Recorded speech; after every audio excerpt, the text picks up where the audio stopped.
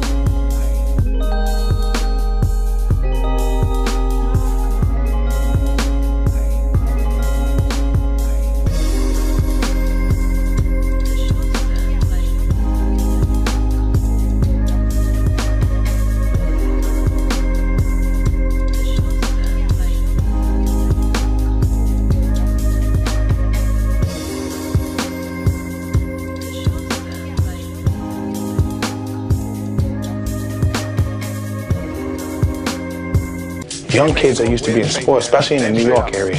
You tell a kid he's good. Yeah, you're good, you're good.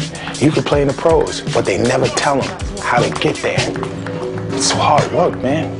You know, if you listen to me, you go to league. If you don't, you work at Kmart.